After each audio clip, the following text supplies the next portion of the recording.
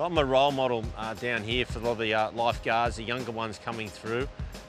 And what I like to uh, demonstrate is when I deal with some situation that I'm calm, I'm collected, and I show respect to that person and uh, take, listen, take on board what they're saying, and then go from there. So never be aggressive, never be uh, demanding or dictating to a person.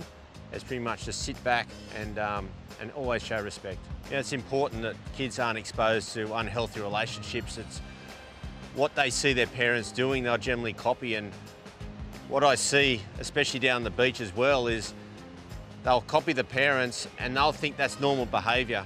And as they grow older, they'll do the exact same thing. So we need to uh, stop that behaviour uh, in, in the young children so then they don't uh, go on in adult life and, and do the same thing. Like a healthy relationship is uh, communicating, sharing the load, and getting in and, and working as a good team. Oh, the unhealthy behaviours we should be aware of uh, when uh, you know, people won't let them go see their friends. Uh, they try and control that. Finances, they might only give them a bit of money rather, and, and that's not enough, so they can control that situation.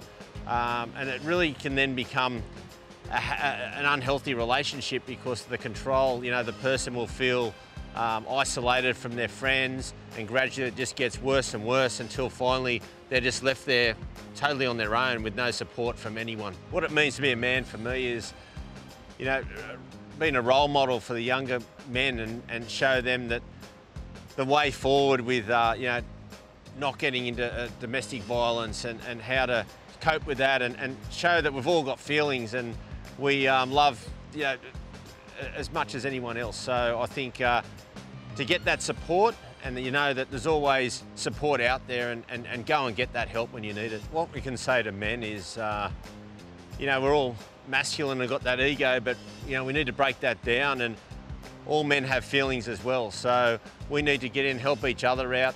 Don't be scared to come forward and, and show your emotions. There's nothing wrong with that. It's all quite normal. So let's get in and uh, help each other as men.